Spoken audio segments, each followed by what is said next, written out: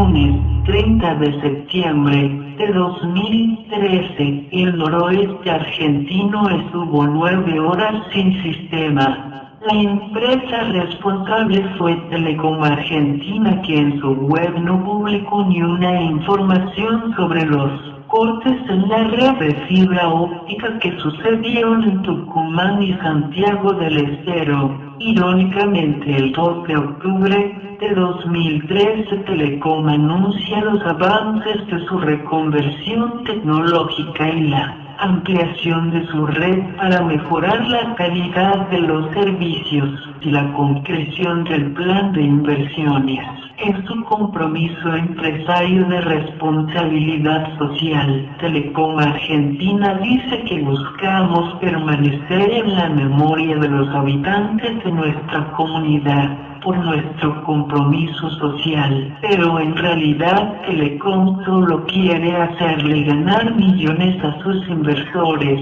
explotando a nuestros empleados y sacarle millones a nuestros clientes, tener proveedores baratos, sin cuidar el medio ambiente. A Telecom solo le importa vender espejitos como Arnet y Esmegas, pero le damos dos megas vender planes de personal y nunca cumplir con la conexión. Nuestro centro de atención es 0800 555 9999.